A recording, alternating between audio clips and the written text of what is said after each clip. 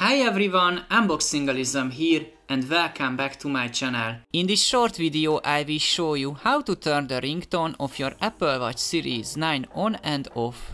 Before we begin, there is an important limitation to note. You cannot change the ringtone on your watch when you receive a call, so if you are not a fan of the default ringtone, you can only turn it off.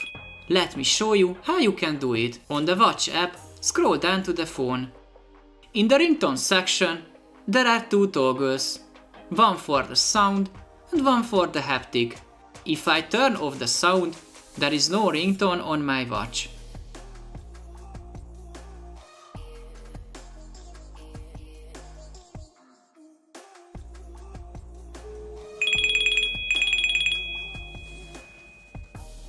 Let me give you a bonus tip.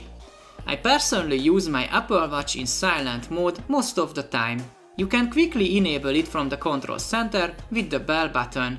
In this particular case, the watch will be in silent mode and it can provide haptic feedback only. That's all I wanted to say about how to turn off the ringtone on your Apple Watch. At the end of my video, let me ask you a small favor. As you can see, most of my viewers are not subscribed. If you find my video helpful, please take a second to give a like and click on the subscribe button to help my videos reach more people. Thank you and see you in the next one.